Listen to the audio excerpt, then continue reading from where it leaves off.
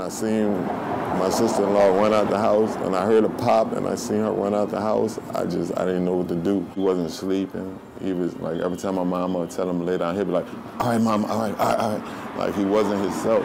My brother was sick. My brother was going through something. Life is like the weather. It can be sunny one moment, then suddenly turn stormy the next. This episode is a two in one, so be sure to watch until the end.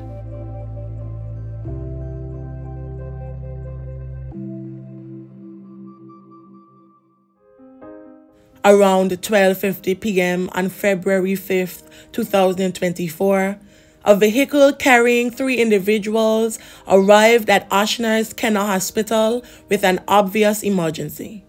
The vehicle had a shattered window and discharge holes in the doors.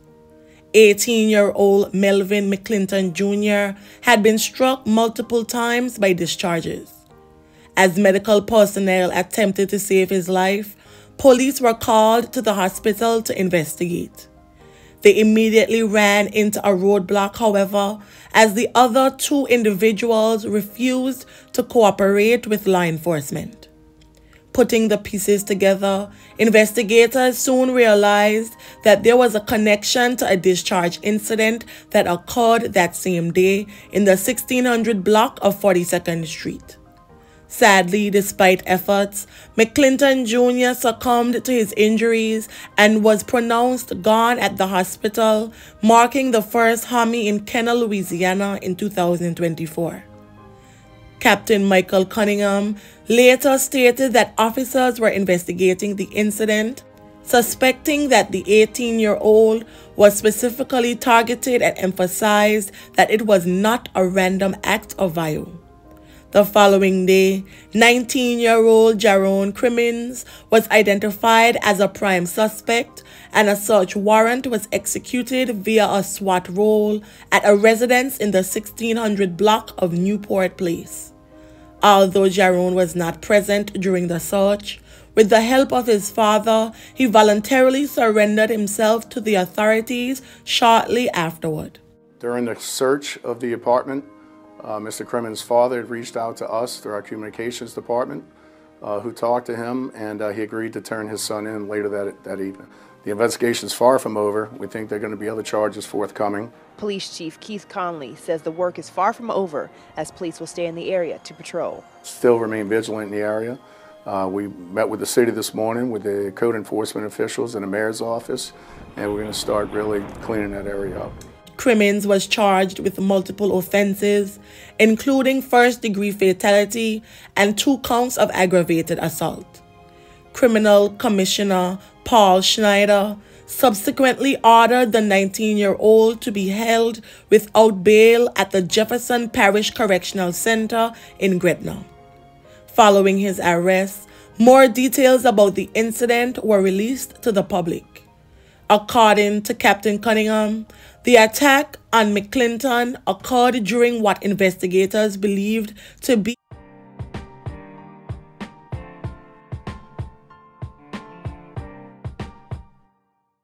a narcotics deal turned sour.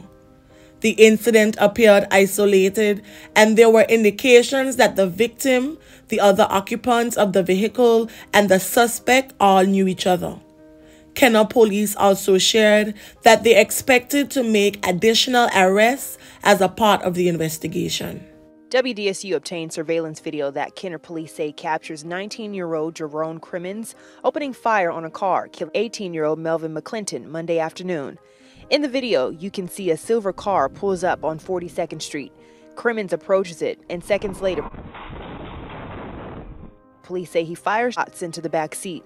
He runs away and the car speeds off. And I was like, kind of, you know, shocked of what was that? And she said it just sounded like guts just going off. How you never know who you have around you or what could be right across the way. The passenger in the back had two or three gunshot wounds. Chief Conley says McClinton was in the back seat with two friends sitting in a car near an apartment complex on 42nd Street when he was downed. The vehicle came into the to the neighborhood. Um, the subject came out from the Newport area. Car went up to that subject. The subject leaned in the back window, at which time there was some conversation, uh, and then the subject pulled out a weapon and started firing into the car at close range. We're told it's possible everyone involved knows each other. This is not a random. We believe that the victim knew the uh, leader, uh, so we're just trying to, to further develop uh, more of a motive than that. Neighbors shared this area has had problems with gang-related issues in the past and have recently seen disturbances. Kenner Police does not believe this incident is gang-related. We have had complaints and investigations. We developed information that there are some gang, some gang activities in there in the past. Um, just the last two weeks, it's really kind of flared up with some reports of fires, some uh, some loud disturbances. When the officers get there, there's no scene. Anyone with relevant information is asked to contact Kenner Police or Crime Stoppers using the information displayed on the screen. Melvin McClinton Jr. was laid to rest on February 24th. His family members, especially his parents, had struggled with the fact that he was really gone. Are you Melvin?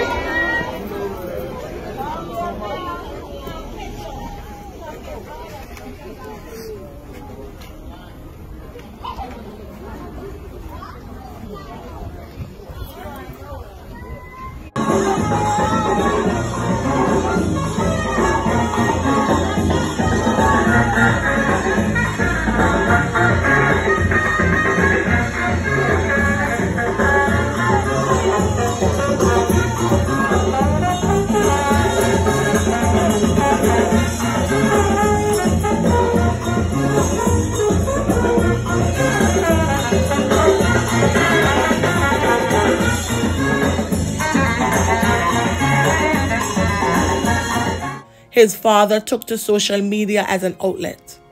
In the comments under McClinton Sr.'s Facebook Lives and posts, people were observed telling him how strong he was, while others expressed their concern over how the grief appeared to be affecting the father. It appeared he had been struggling mentally and emotionally. Work on. Man, at work. Man. Oh no, messing uh, messing around on my phone. I said just messing around on my phone.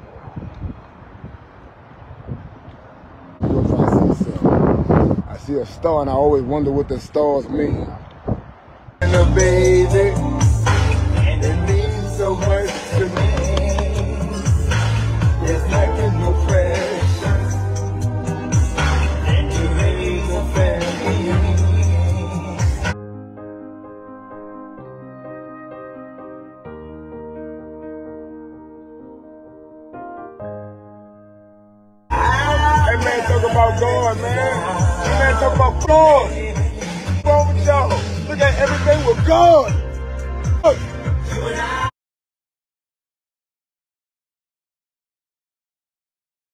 On February 28th, Jerome Crimmins appeared in Jefferson Parish Magistrate Court for a preliminary hearing in his first degree fatality case. A detective told the court that text messages showed that the 19 year old had arranged to meet up with one of McClinton's friends for a narcotics deal. Court records also showed that Crimmins was previously arrested in April and August of 2023. Charges from those instances included resisting arrest, possession of a firearm, illegal possession of stolen items, and more. Hours after the preliminary hearing, the mother of McClinton Sr.'s youngest son, three year old Carmelo McClinton, went to the man's home on 27th Street in Kenner's Susan Park neighborhood. Around 7 p.m., the parents began arguing over the boy's discipline. Carmelo was also in the room at the time, and the dispute quickly turned physical. McClinton's brother, who was also at the home, had decided to go outside, never expecting what would happen next. Moments later, Carmelo's mother ran out of the home as discharge sounds rang out. 39 year old Melvin McClinton Sr. then walked outside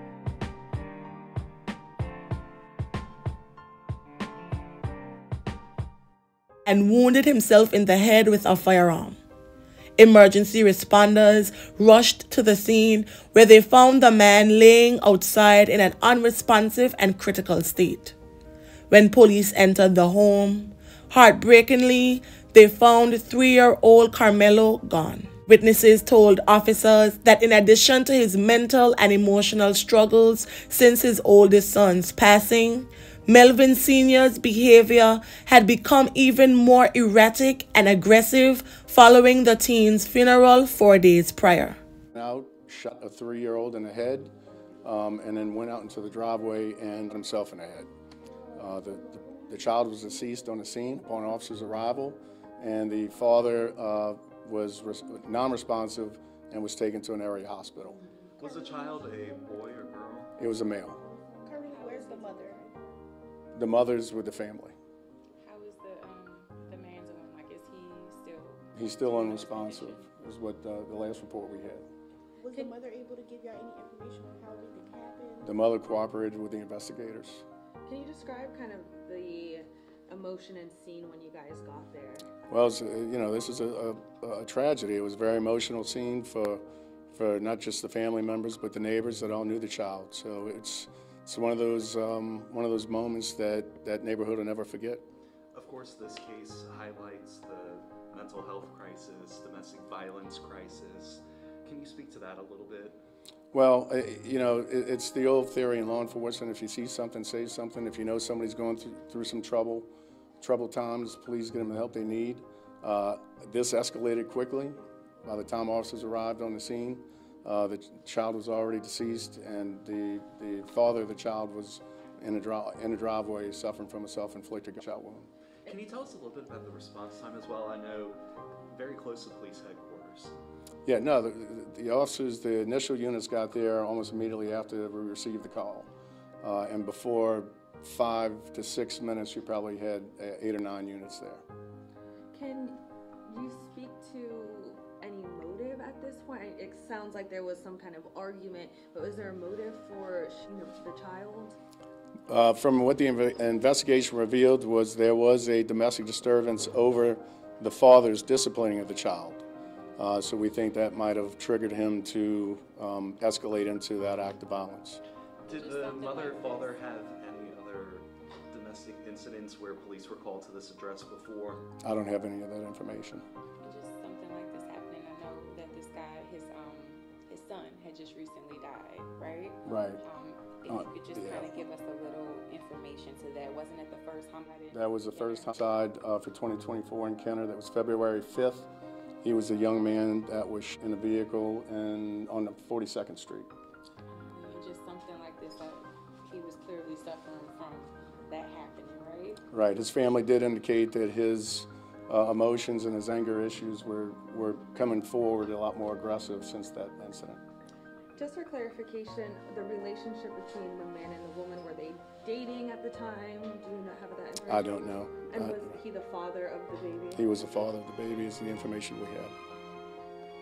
Anything else that you would like to add? No, just, you know, keep this family and that community in your thoughts and prayers. Um, you know, this is just one of those tragedies, unfortunately, that, that happened. And, um, you know, we're just, we're just wishing the best for him. And when I seen my sister-in-law run out the house, and I heard a pop, and I seen her run out the house, I just, I didn't know what to do. I just didn't know what to do, right? Emotional videos posted on social media show Melvin McClinton grieving the loss of his 18 year old son. My brother was crying out. He was on Facebook. He was talking. He was telling people, like, we have to change. The tragedy of a life taken too soon and the pain from a loss that McClinton's brother Thalmus Williams believes was too much for him to bear. All the pressure you put on a human, a human can only take so much. A person can only take so much. My brother was sick. My brother was going through something. A sickness that family tells police McClinton had been battling since his oldest son was killed earlier this month, which left him in an emotional spiral. He wasn't sleeping. He was like, every time my mama would tell him to lay down, he'd be like, all right, mama, all right, all right, all right. Like he wasn't himself. Like my brother's just, my brother is just the, the pressure of all the stuff and him losing his child. In these events and circumstances, Dr. Reggie Parquet is a clinical social worker specializing in community violence. He never assessed or treated Melvin McClinton, but says in some cases, trauma from losing a loved one can cause people to dissociate from reality and act out of character. sometimes these individuals uh, will actually detach themselves from reality. Uh, they, they, they aren't able to recognize real situations in front of them. Williams says on Wednesday night, his brother wasn't being himself. My brother, he love his children like to death, like anything. Like my brother, like he love his kids. My brother, he just the things that he went through for as losing a son and trying to hold it together and everything is it, it was it was too much for him to bear. The ripple effect of loss has now changed this family forever. Just hurt my heart to, to hear that a three-year-old. That it's just unimaginable. I'm in shock. You know, see a child, you know, an innocent child happen. This happened to him. McClinton's niece tells Fox 8 that her uncle was a hard-working, loving father. His niece went on to say that he loves his kids and, quote, no one can fathom what happened. No one could have ever imagined something like this would happen. Pray for him, pray for the mother, pray for the family. But sometimes you see people every day and you don't know what's going through their mind. Sometimes it's good to ask. You know, you know, if they need to talk, just talk with someone. Don't take it out like this here. This is a tragedy both ways. You know, the guy just last week buried his son. Two days after the senseless tragedy which claimed Carmelo's life, Melvin McClinton Sr. was reportedly still lying in the hospital in critical condition. Witnesses, um, the, the suspect, the father of the baby, still in critical condition in an area hospital. Um, so once, you know, we'll have to see how, how that fares out uh, as a path as to what, what we're going to do with him with a warrant. By that evening, it was announced that he had passed away. Had McClinton Sr. recovered, police shared that he would have been charged with first degree fatality. Before we start, if you can say and spell your name for me. Thalmus Williams, T H A L M U S. And you are the brother of Melvin, correct? Yes, ma'am. Um, tell me about your brother and your, your nephew. My brother, he love his children like to death, like anything. Like my brother, like he love his kids. My brother, he just the things that he went through for as losing a son and trying to hold it together and everything is it, it was it was too much for him to bear. It was like my brother was crying out. He was on Facebook. He was talking. He was telling people like, "We have to change. We have to be this." You know what I'm saying? We have to do this. We, like, And your, your three-year-old nephew, tell me a little bit about him. uh, Mello, man, that, that's my baby. Yeah, he, he joy the world, beautiful boy. Like, like he used to be saying, "Baby, let get that baby dog." My puppy, my dog just had puppies. He just said he liked the baby dog. That's my baby dog.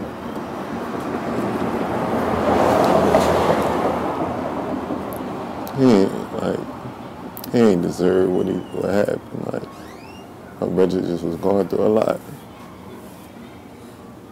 Tell me your reaction to when you heard the news yesterday, last night, and when you got that phone call. I, I was there. I, I was I was I, I, I, I was I was a witness to the whole thing, but I, I I left out of the house because I know me and my brother. If he mad, he gonna he gonna direct it toward anybody, and I just didn't want to be in it. And when I seen my sister-in-law run out the house, and I heard a pop, and I seen her run out the house, I just I didn't know what to do. I just didn't know what to do. right? So you were there and you, you heard the gunshots and you were out, it sounds like you were outside the house. Um, in that moment, I can't even imagine in your heart, in your head, what was that feeling when when you heard that sound? It was like losing a child. It was like losing, it was like I knew I lost something.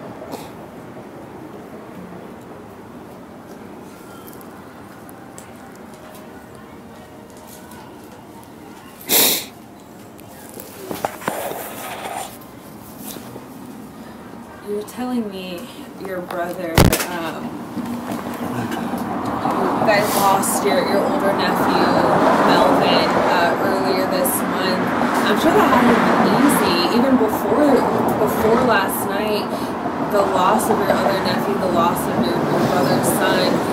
Tell me how that has impacted you guys. I just recently caught a charge in New Orleans. I went I went on Mardi Gras to, to ride my bike just to have some fun. But by my nephew being ill, I had an illegal gun. I had a gun I just bought. I, I need my protection, so I, I wound up getting a charge for that just recently. Like, and it's, and it's more like, like everything is just like it's. There's a lot of heaviness, sounds like, going on, and with with in the past month. Uh, I wouldn't I would have never had a gun if my nephew. I don't I don't feel I be needing a gun, but I, I, I need protection. Like I like that that on my family that was hard. Like we all was on pins and needles. We all was trying to like just cope with it. Know uh, your brother's in the hospital right now. Um, what are you guys looking like going forward? How is this going to affect you guys long term? You guys God, know. God is with my family. God is showing my family. God is our teacher. God is everybody's teacher. We, we all go through situations that teach us and, and, and mold us into who we are. So based on that answer, like God got us. We good. We straight. Tell me, uh, you were saying your brother is uh, a good man. Tell me a little bit about your relationship with him. Me and my brother got a beautiful relationship. Ever since I came home, it just been like he he, he tried so he, he tried so hard. He, he my brother been through a lot. Like I said, with the with the recent with the with his charge, like he didn't do it. He feel like he feel he feel cheated. Like I gotta go through all this. He feel like all the pressure you put on a human, a human can only take so much. A person can only take so much. Like life is serious. Life is is more than what we just think it is. Like we just we here for each other. Sounds like maybe last night it just it all came to a to that boiling point. My brother, he, he my brother was he was flashing the whole day. Like he was he didn't get no sleep. He wasn't sleeping. He was like every time my mama would tell him to lay down, he'd be like, all right, mama, all right, all right, all right. Like he wasn't himself. Like my brother's just my brother is just the, the pressure of all the stuff and him losing his child. He lost his son, he's spitting the image him, but just like. The male so loved, he did his dirt because that's what we taught. We taught what we know. All he knew was the streets. My brother lost his child to the streets.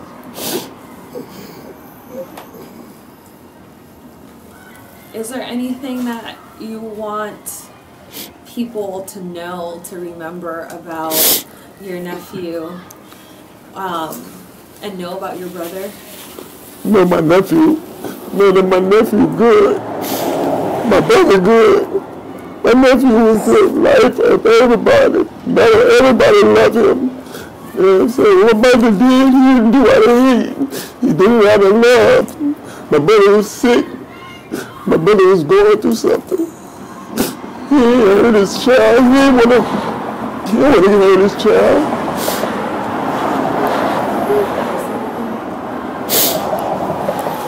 Is there anything else that I didn't ask that you wanted us to include? I just want to say it's all about us. It's all about us. Understanding. Everybody has understanding. All everybody is smart. Everybody know better. Like it's about us. Thank you for sharing with us. I, I really appreciate you speaking with us today. May the family and friends of Carmelo McClinton and Melvin McClinton Jr. find solace in the happy memories and may their souls rest in perpetual peace. Thank you.